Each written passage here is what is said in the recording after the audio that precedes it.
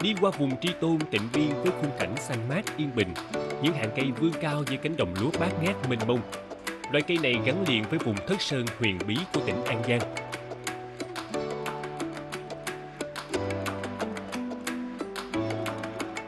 Trong khoảnh khắc bình minh tươi đẹp, vẻ đẹp huyền ảo này hẳn sẽ mê hoặc và quyến rũ lữ khách phương xa.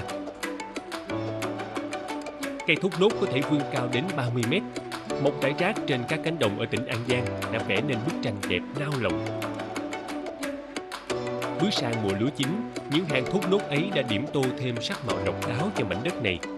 Thốt nốt còn là người bạn tri kỷ của người nông dân, bởi cây thốt nốt có tuổi thọ cả 100 năm, sống vững chãi giữa cánh đồng che bóng mát cho họ lúc nghỉ ngơi.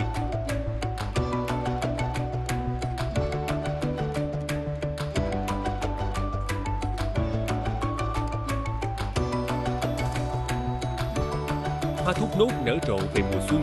Để lấy nước thốt nốt, người ta cắt vòi hoa, dùng thanh tre kẹp lại, buộc ống vào đầu thuận hoa hứng nước tiết ra từ chỗ cắt.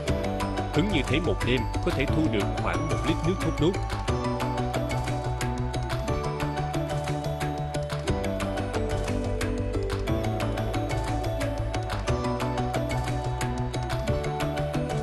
Cây thốt nốt là cây đặc trưng gắn liền với đời sống của đồng bào dân tộc Khmer An Giang. Các sản phẩm làm ra từ cây thốt nốt mang hương vị đậm đà vùng miền, được nhiều người ưa chuộng.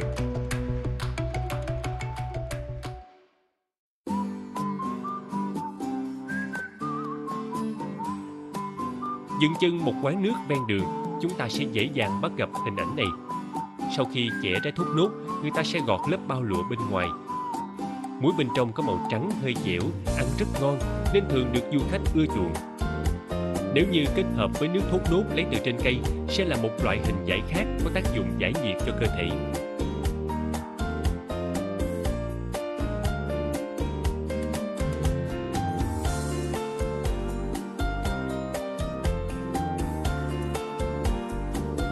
Công nghệ làm đường thốt nốt cũng lắm công phu và tùy theo tay nghề của người thợ mà chất lượng đường có thể khác nhau. Nước lấy từ trên cây xuống được nấu để cô lại thành đường ngay trong ngày bởi vì nếu để lâu thì dễ bị chua do quá trình lên men xảy ra bên trong nước thốt nốt. Bí quyết ở chỗ là nhìn độ sôi của đường, người thợ có thể biết được và điều chỉnh nhiệt độ của lò chính xác.